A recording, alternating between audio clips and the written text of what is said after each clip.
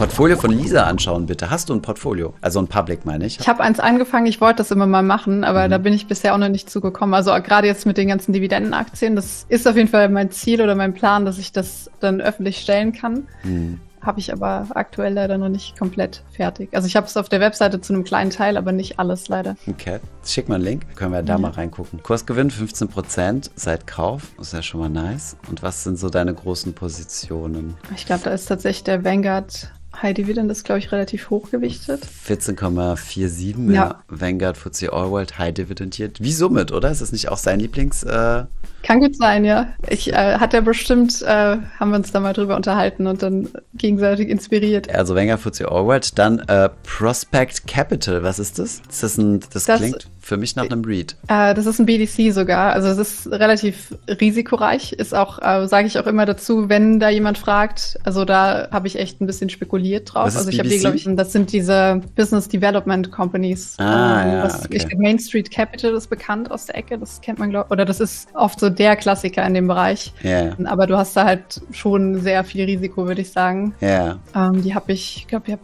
hab die schon seit 2014 oder so erstmalig mhm. gekauft und dann halt immer wieder nachgelegt. Und ganz schön daran ist halt tatsächlich, dass die jeden Monat Dividenden ausschütten. Jeden und, Monat, okay. Ja. Habe ich gerade hier gesehen, wo ich das hier geöffnet habe. Wirklich so bam, bam, bam, bam, bam, bam, bam. Mhm. Und was ist Business Development Company? Also ich habe das ja im Buch von, äh, von Luis Passos gelesen. Kannst du das mal kurz beschreiben? Also was da so das Ziel ist? Also sind da Immobilienaktien drin oder? Ah, da kann im Prinzip alles Mögliche drin sein. Also es geht halt darum, diese Unternehmensentwicklung damit zu erzielen. Und ähm, es ist aber halt dadurch auch ein sehr hohes Risiko, hm. weil du oft eben auch Wetten eingehst mit, mit den Investments quasi. Also es ist viel, viel risikoreicher als jetzt die klassischen langweiligen Dividendenaktien, sage ich mal. Hm. Da Johnson Johnson, gut, das ist klar. Die sind auch guter Dividendenzahler, ne? Ja, ich glaube, die haben auch schon, ich weiß gar nicht, 66 Jahre oder so am, am Stück. Auf jeden Fall schon super lange sind die hm. da am Start, ja. Also ein klassischer Dividendenadel. Genau. Oder Aristokrat vielleicht sogar. Garmin. Garmin ist kein Dividendenzahler, oder? Also. Doch. Echt? Okay, krass. Das, vielleicht kennst du die, uh, die Uhren von Garmin, Klar. diese Sportuhren. Ah ja, okay. Jetzt habe ich die nicht hier, aber ich bin großer Garmin-Fan. Ah, also ich habe oh, okay. ich selbst normalerweise eine, die liegt jetzt nebenan. Die sind halt auch viel aktiv in dem ganzen ja, GPS-Markt. Also ja. ich kenne die ursprünglich auch uh, über Geocaching, falls du das hm. kennst. Ja. Und Hast du es mal halt, gespielt oder gemacht? Mh, hm, ziemlich exzessiv auch teilweise. Echt? Okay, geil. also daher kennt man eigentlich diese Garmin GPS-Geräte auch so ein bisschen oder kannte ich die erstmalig und mhm. ähm, die sind halt sehr, sehr gut einfach. Oder zu dem Zeitpunkt auf jeden Fall. Ja, die sind auch im GPS, also für Aviation und, äh, und Boote. Also für alles, die machen auch Flugzeug-GPS-Geräte. Mhm. So das Nonplusultra auch im, im Bootssektor sind auch Garmin Navigation, also Navigationsgeräte. Also die sind echt top, ja. Hast du die deswegen reingeholt? Ich glaube, dadurch bin ich ursprünglich mal auf die, auf die Firma gekommen, auf jeden Fall, ja. ja. Mhm. LVMH, sehr gut. Also das ist die einzel einzige Einzelaktie, die ich besitze. Wie steht die äh, aktuell? Du hast doch die, glaube ich,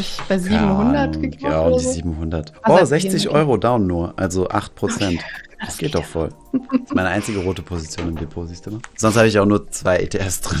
okay, LVMH, warum hast du die geholt? Sind die Dividendenzahler? Ich glaube auch ein bisschen, ne? aber nicht, mhm. nicht exzessiv. Mm, ja, aber so Dividendenwachstum ist ja auch nicht schlecht auf jeden Fall. Also im Prinzip einfach ähm, aufgrund der guten Finanzstabilität, die guten Kennzahlen und mhm. einfach so dieses riesen Produktportfolio, was sie haben, ja. was vergleichbar, glaube ich, gibt es gar nicht als einzelne Aktie. Könnte man vielleicht auch als ETF abdecken, wobei da natürlich wahrscheinlich auch die höchste Gewichtung LVMH haben wird beim Luxus-ETF. Das wäre ein Punkt. Teaser, um mal im Finanzfluss-ETF-Informer den anzuschauen. Es gibt ich bin so schon unterwegs. Oh, es gibt nur einen Amundi S&P Global Luxury. Und dort drin ist, oh, ist leider ein Swapper. Egal, da gucken wir ins Factsheet rein. Also, was haben wir da drin? Richmond C. Oh Gott, weißt du, was das ist? Mit 8%. Hier, Chat, ihr müsst uns jetzt helfen. Genau, dann hast du LVMH mit 8% drin und Hermes relativ, also mit einem Prozent unterschiedlicher, also Unterschied von der Gewichtung her. Das hatte ich nämlich auch im Kopf. Also die nächstgrößere mhm. Luxusbrand, die ich im Kopf hätte, wäre auf jeden Fall Hermes, Kering, genau. Mercedes-Benz, okay. Mhm. Ja, kann man vertreten. Warum nicht? Warum dann nicht Porsche? Estee Lauder, ist das eine Luxusmarke? Es ist äh, Kosmetik, also ist schon ah, eher hoch, hochwertig. Okay, also okay, hast recht. Clinique und so sind so Marken, die dazugehören. Die sind halt auch eher, ich sag mal, im höheren Preissegment. Richmond, Schweizer Luxusgüter mit vielen Luxusuhren. Okay, guck mal, hier siehst du die Marken.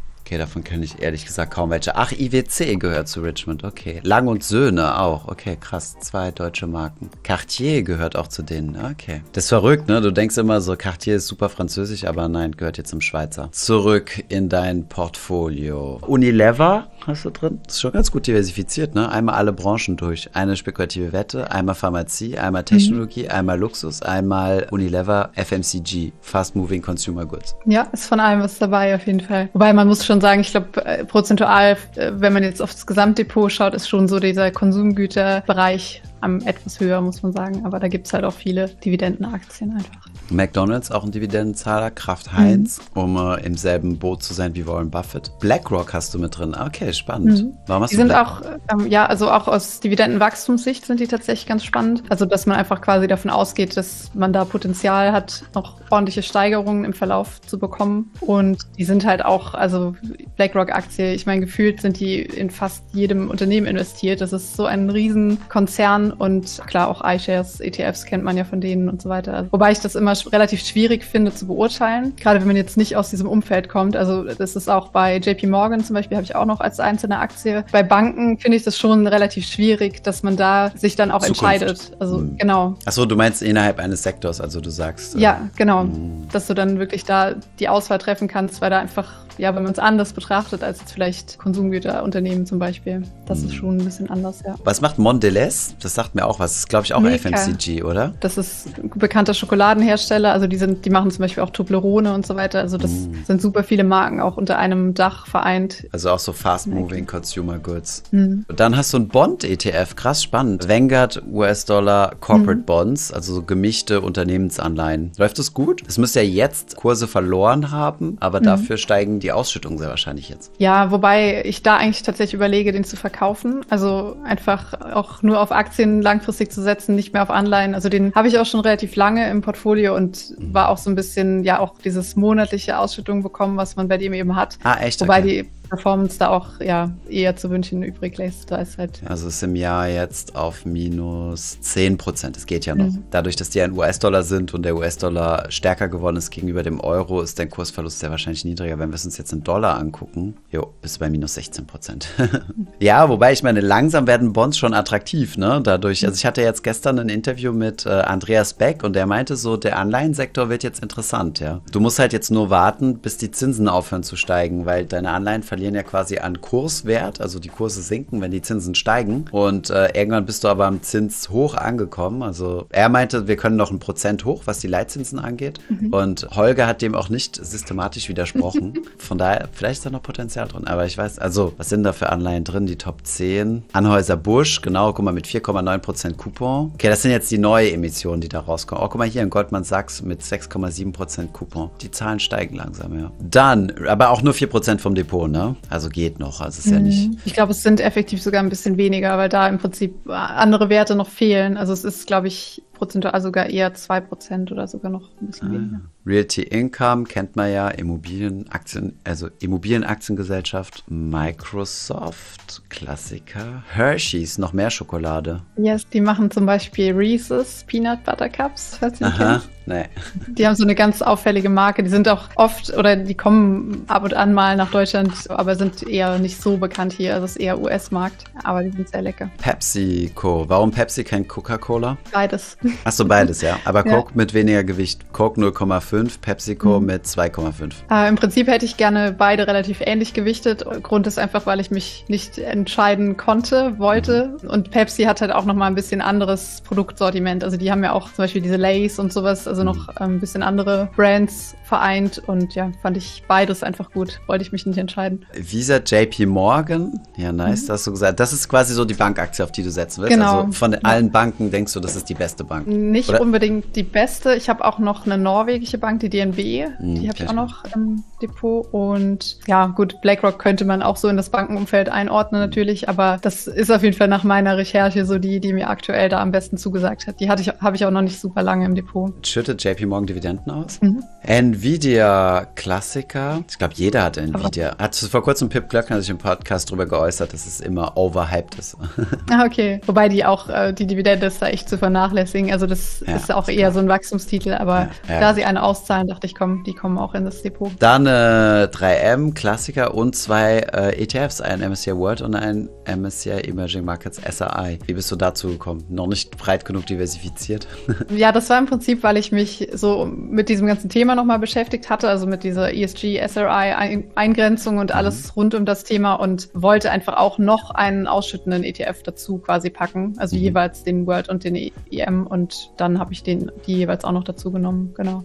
Rio Tinto, es haben so viele Leute Rio Tinto im Portfolio. Wie groß ist denn da die, die Dividendenzahlung? Ist es so attraktiv? Ja, die ist schon relativ hoch. Die Dividendenrendite bei denen, äh, musst du mal gerade schauen, vielleicht, wie die aktuell ist. Aber ich glaube, die ist so fünf oder sechs Prozent, so, mhm. sowas um den Dreh. Ist aber auch ein umstrittenes Unternehmen tatsächlich. Also ich habe auch überlegt. ESG-Kriterien halt, nicht so top. Ja, da gibt es auch extrem viele, ja, ich sag mal, Negativ-Schlagzeilen, viel, mhm. viel Kritik. Ja, auch so, ich sag mal, menschenrechtlich, wo ich auch überlege, ähm, mhm. willst du die langfristig im Depot haben? Nicht unbedingt. Also da, das ist auch so ein Kandidat, wo ich eher so aus Ethik, sage ich mal, überlege, die dann zu verkaufen. Ja, lohnt sich ja jetzt, ne? Mit plus 20 Prozent. Äh, mhm. 19, ja, 19, irgendwas Prozent ist doch okay. Und, äh, ah ja, okay, spannende Sache, weil ich hatte in der Bank mal indirekt für die gearbeitet. Kann ich nicht so mhm. viele Details geben, aber ähm, da habe ich auch ein bisschen von der Firma mitgekriegt. Gut, ist halt in dem Sektor, um sie ein bisschen in Schutz zu nehmen, in Anführungszeichen, in dem Sektor, im Rohstoffsektor laufen halt viele Dinge schwierig, ne? gerade in der mhm. Rohstoffförderung und, und Verarbeitung und so weiter. Aber ja, nichtsdestotrotz, da muss man trotzdem dran arbeiten. Coca-Cola, haben wir drüber gesprochen, Cisco, Nike, Estee Lauder hast du auch noch drin. Mhm, die sind Sus auch relativ frisch. Da große Empfehlung, es gibt einen Podcast, der heißt Kampf der Unternehmen. Klingt Aha. ein bisschen clickbaity, aber Den habe ich zum zweiten Mal äh, empfehlen bekommen. Ach, okay. Jetzt erzähl, ja, sorry. Also das sind verschiedene Stories, zum Beispiel Hagen Dazs gegen Ben Jerry's, mm. Estee Lauder gegen L'Oreal und das ist so ein bisschen, ist fast wie ein Hörspiel. Also das ist so ein bisschen äh, diese persönliche Ebene, wird super cool erzählt, auch mit Soundeffekten und so weiter und geht halt um die Entwicklung des Unternehmens oder um die Entstehung mhm. und dann auch um diese ganzen Schwierigkeiten, die die hatten. Mhm. Ich hatte die, also Estee Lauder als Aktie hatte ich schon vorher im Depot, aber habe das im Nachhinein mir dann nochmal angehört und das war echt mega cool cool. Also echt so diese ganze Unternehmensgeschichte so richtig schön aufbereitet einmal anzuhören. Das ist echt eine große Empfehlung. Der Podcast ist klasse. Den muss ich mir speichern, den Podcast. Mhm. Es gibt, glaube ich, auch Aldi versus Lidl ist, glaube ich, auch noch eine Folge. Die habe ich aber auch noch nicht angehört. Ah, und über Red Bull und Monster Energy. Das äh. ist auch sau interessant. Also auch so diese, diese ganzen Probleme, die Red Bull früher hatte und wie die dann zu dieser bekannten Marke einfach wurden. Das ist mhm. mega spannend, sich das anzuhören. Dann hast du dich für Estee Lauder entschieden, weil dort hast du den Kampf, also wurde das gecovert aber nee, dort schon, schon vorher. Also ich hatte die schon vorher als Sparplanaktie aufgenommen, aber habe dann den Podcast natürlich mit noch größerem Interesse verfolgt sozusagen. Nice. Und dann, ach, das waren schon die letzten. Okay, cool. Ja, spannendes Portfolio. Also muss man sagen. Spannend. Es ist auf jeden Fall noch nicht vollständig, leider. ich hoffe, dieses Stream-Highlight hat dir gefallen. Hier findest du noch weitere Videos hier auf Überfluss. Und wenn du das nächste Mal live mit dabei sein möchtest, solltest du auf jeden Fall den Kanal abonnieren und die Glocke aktivieren. Dann wirst du nämlich jedes Mal informiert, wenn ich hier auf Überfluss nochmal live bin. Bis dann.